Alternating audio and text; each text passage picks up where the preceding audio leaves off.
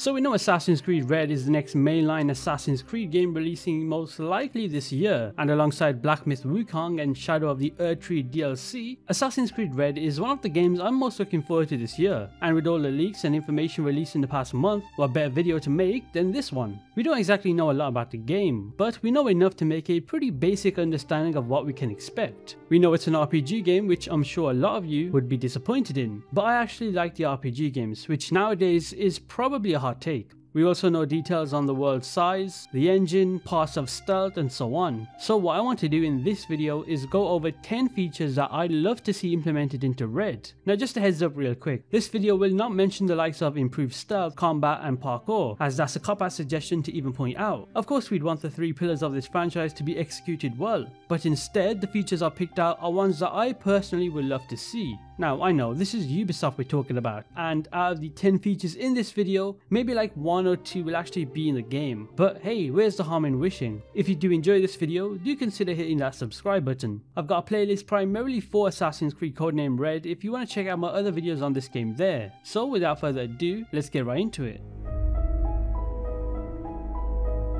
So starting off with the first feature that I feel like needs to be in Assassin's Creed Red is real history. Now what I mean by real history is a game that makes use of what feudal Japan was back then. None of this fabricated made up Japanese folklore stuff that we might see Ubisoft implement. Sure a little bit of fabrication is okay, but not to an extreme extent. I do assume that the most likely time period we'd see for codename Red would be the Sengoku period as that's the same time period that Yasuke's character is based on in real history and we of course know that Yasuke is one of the protagonists in the game alongside Naoe. We also know that the Sengoku period was a period where a lot of war and near constant military conflict occurred. Now as for what I'd like to see in terms of real history in Assassin's Creed Red is for one, real weapons that were used back then. So the likes of the katana of course, which is a staple as that's the most iconic and recognized. I'd also love to see the naginata, which is a pole weapon with a curved blade at the end, often used by samurai. The yari, which was a spear also commonly used by samurai, and even the likes of the tetsubo, which is definitely one of the more brutal weapons from the Sengoku period, as it featured a club made of either iron or wood, studded with iron spikes and was used to crush armor and bones alike. That's the type of real weaponry that I need to see in Assassin's Creed Red. But it's not just about weapons everything from real life historical figures such as Oda Nobunaga, Toyotomi Hideyoshi, Takeda Shingen and a lot more, similar to how Assassin's Creed Syndicate was full of real life historical figures. I love to see Assassin's Creed Red fit in that same boat. We also know that historical events play a massive role in Assassin's Creed since pretty much Assassin's Creed 1 up until Mirage, so I do expect to see Ubisoft's interpretation of Sengoku period historical events implemented into Red, and since the Sengoku period was full of war, I'd expect a lot of historical events based around that theme, especially especially the Nobunaga incident where his general betrayed him. So yeah, the first feature, well it's not really a feature, but real history is how we'll start off this video. Let me know what your thoughts are when it comes to real history in Assassin's Creed. Are you all for it or do you just simply not care?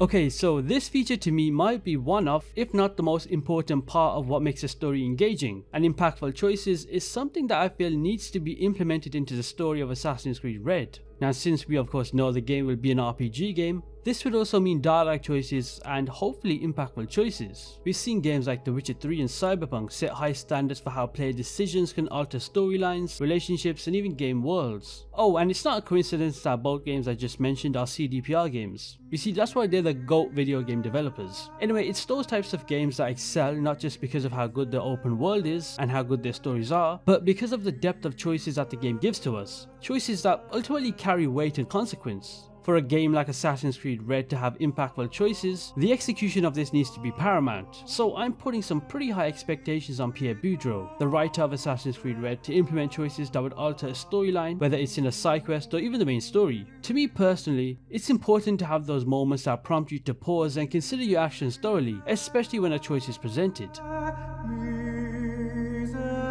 So this next feature that I love to see in Assassin's Creed Red might be a bit of a reach for the likes of Ubisoft, but it's certainly not an outrageous idea, and that's simply story driven side quests. Now, we've had some relatively story-driven side quests in previous Assassin's Creed games. For example, there was the Assassin's Creed 3 Homestead characters that have story-driven quests related to them, but technically they were not side quests per se, they were part of the settlement. There's the murder mysteries from both Unity and Syndicate, and whilst they were not exactly fully story driven missions, there were missions that had a crime story to them, where we put together a scenario, interrogate witnesses, and make your own decisions. What I want to see in Assassin's Creed Red is the same type of side quest presented in a game like Ghost of Tsushima. I've mentioned a few times on this channel that I personally think Ghost of Tsushima's side quests are probably the best in any video game. The stories, the emotional moments, and even the exciting moments. There's a lot to them, and the best thing about Ghost of Tsushima's story-driven side quests is that they consist of multi-stage quests throughout the entire story. So you could start a side quests at the start of the game and finish it near the end of the game at a natural pace, which is perfect as you'd never feel burnt out. In Assassin's Creed Red, whether it's helping a village defend against bandit attacks, uncovering a conspiracy, or even delving into the supernatural aspects of Japanese folklore, each side quest to me should feel like a chapter in a larger story, contributing to the understanding of the game world and our place within it. Now I know we're going to see fetch quests in Assassin's Creed Red, that's a given at this point, it's impossible for Ubisoft to not incorporate them, but I just hope they don't add too many of them, so here's to hoping we get story driven side quests.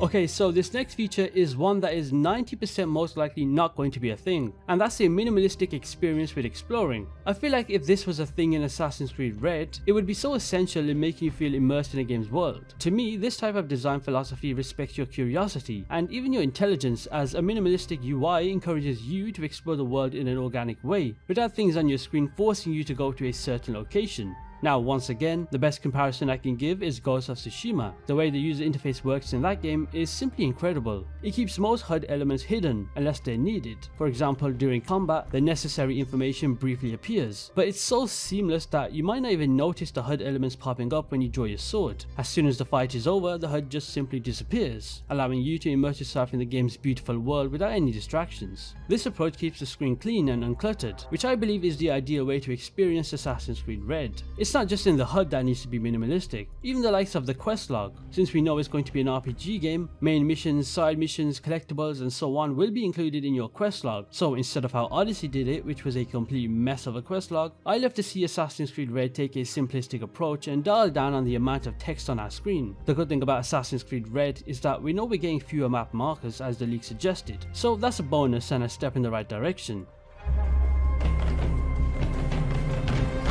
This feature is a must, and I simply cannot see how Ubisoft can mess this one up, and that's the implementation of an expansive weaponry. I touched on this particular feature earlier in the video very briefly, so I figured I'd expand upon it here. For me, the inclusion of a wide range of historically accurate weapons, from the katana to the versatile naginata and the ninjato, would allow us to truly embody the role of a samurai slash assassin of that time. Each weapon should come with its own unique set of skills, techniques and possible customizations, reflecting the traditions of the period. It goes beyond melee weapons, because incorporating ranged weaponry like the Yumi, which is a longbow, and hell, even the Tanegashima, which is a gun would add a lot of to combat. I have faith in Ubisoft in this aspect as they rarely mess up the historical editions of certain things. We saw in a game like Black Flag, the weaponry of that game fit well for the whole golden age of piracy. Even in the RPG trilogy, the weapons were fitting of each era. So feudal Japan is something that I'm confident they won't mess up when it comes to expansive weaponry. I just hope it's not a case like the new Rise of Ronin game that was released quite recently, because the weaponry in that game was so not expansive at all. In fact, it was a lot of the same weapon just tiered into rare, common, legendary and so on. My next point in the video kind of relates to this one, so let's move on to that.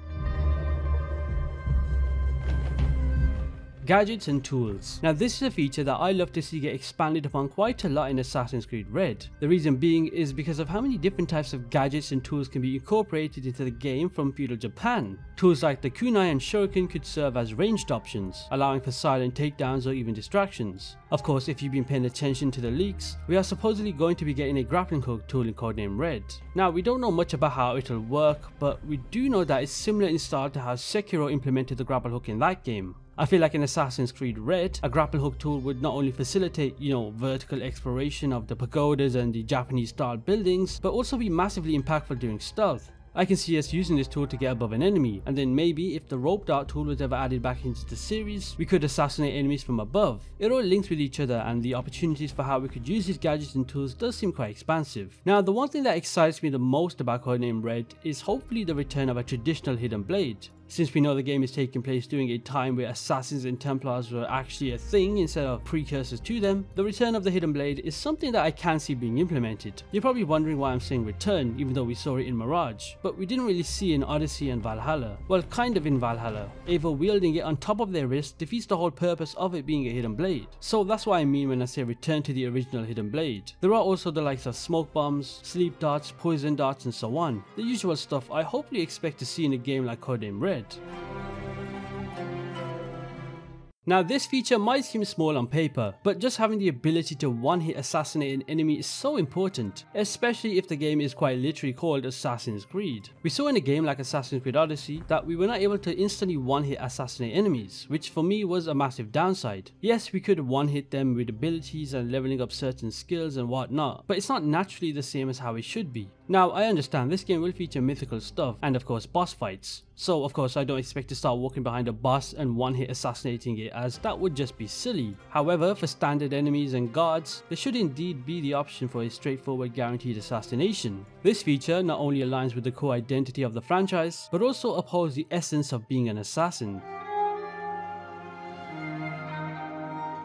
Who remembers Assassin's Creed 3's Homestead settlement? That to me was the peak of settlements in this franchise. Not Villa Auditore, not Great Inagua, and definitely not Ravensthorpe. Settlement missions are something that I would absolutely love, and I mean love to see in Assassin's Creed Red. Thanks to the leaks, we of course know we'll be getting a settlement feature in Red named The Hideout, and it does seem pretty expansive. We'll be getting an armory, dojo, altar, and a lot more according to the leaks. But what I want mainly is engaging and actually well fleshed out missions with the NPCs at our settlement. In Valhalla, the NPCs in Ravensthorpe felt so soulless and lacked any substantial storyline. This just made them feel more like set pieces rather than integral parts of Eivor's journey. And then on the other hand, in a game like Assassin's Creed 3, the NPCs at the homestead were all engaging and had their own storyline to them. The game us the opportunities to delve into the lives of the settlers, understand their stories, and witness how they'd impact Connor's personality massively. For Assassin's Creed Red, settlement missions should be a feature and I'd love to see draw inspiration from the Homestead's success, whilst also learning from Ravensthorpe's shortcomings. Each NPC should have a unique backstory and a series of missions that make them feel more alive and part of the narrative. Of course, completing these settlement missions could provide us with visible changes in settlements such as new buildings, services, or even celebrations. So yeah, am I asking for a lot here? For sure, but if Ubisoft really wants this hideout feature to be a success, they have to add some sort of engaging content within the settlement out. This specific feature is something that I only expect to see in a game like Assassin's Creed Red, especially with how the game will make use of quote unquote next generation technology or whatever it is they say. Now I am 90% confident that dynamic weather will be a feature in this game, especially seeing as Insider Gaming reported that it will, but there's a 10% chance inside me that thinks Ubisoft will fuck this feature up. The recent leaks mention the game is going to be utilizing an evolved version of the Anvil engine named the Anvil Pipeline, and this new iteration of the engine is said to benefit everything in terms of animation parkour systems, dynamic weather and a lot more. The league also emphasized on realism and improved graphical fidelity, I want to focus on the fact that the word realism is used, and realism is something that's not often associated with this franchise in almost everything. Dynamic weather is the first thing that pops up into my head when I think of realism. The main reason why dynamic weather is incorporated into video games is to make environments feel alive and responsive. It's not just about visual aesthetics, weather can influence gameplay mechanics, narrative mood and player strategy, creating a more unpredictable experience. For a game like Assassin's Creed Red that is set in feudal Japan, this only makes sense, especially seeing as the era was known for its distinct seasonal seasonal changes and weather patterns. The best example of a game I can give that makes use of dynamic weather is Red Dead Redemption 2, which features weather systems that affect visibility, character interactions, and even the health of Arthur Morgan. Even in The Witcher 3, that game uses its dynamic weather to add depth to how combat would feel, with storms and fog creating atmospheric conditions that can either hinder or help the player. We saw in Assassin's Creed Origins with the sandstorms. That's yet another example of how dynamic weather can affect the game. For Assassin's Creed Red, imagine one moment we're walking through the world, and suddenly fog caves in. Then we'd see certain yokai appear and attack the player. This doesn't seem like unrealistic expectations, especially knowing that this game will make use of Japanese folklore. Okay, this last feature is not really a traditional feature, it's more of a tribute to what I would love to see or rather hear, and that is simply a beautiful Japanese soundtrack. If there's one thing Ubisoft has never, and I mean never got wrong with Assassin's Creed, it's the soundtrack and OSTs of each game. There is genuinely not a single Assassin's Creed game that I can recall off the top of my head having a bad soundtrack. In fact, the worst is probably an 8 out of 10, which in most games is considered amazing. For Assassin's Creed Red, a beautiful soundtrack is a necessity. This might sound pretty cringe, but music to me in video games has the power to transport you across time and space, enveloping you in the world on the screen. And it has the ability to heighten every action, emotion and scenic view that you'd encounter. Think about it, would that iconic Ezio and Federico scene hit the same if the Ezio's family soundtrack was not playing? Absolutely not. Would each intro title hit the same if the music was different? Absolutely not. So that's why I consider soundtracks to be so important in video games. Now I'm going to throw this out there before the game is even released. I can genuinely see Assassin's Creed Red soundtrack to be a top 3 in its entire franchise, or maybe a top 5, simply because Japanese music was so distinctive. The melodic structures, the different instruments used, I can just see it being a 10 out of 10. Imagine exploring the streets of Kyoto and hearing bamboo flutes and ambience being played in the back. That would just make the experience 10 times better. And then during those intense battles or chases, the rapid beats of taiko drums could add to the adrenaline, making your heart race in sync with the rhythms. So yeah, sorry if I geeked out near the end of this video, but I'm pretty passionate when it comes to the soundtracks in video games. This is slightly off topic, but just take a listen to a song named Feel in Lies of P. That's all I'm going to say. So there you have it, those are 10 features that need to be in Assassin's Creed Red. A lot of them are personal requests and I cannot really see Ubisoft incorporating them such as settlement missions or one-hit assassinations. But I'd love to see every feature in this video get included into Assassin's Creed Red. Let me know what your thoughts are in regard to my list. What features do you want to see implemented that are not mentioned in this video? If you did enjoy this video, be sure to hit that subscribe button and with that said, I'll see you in the next one.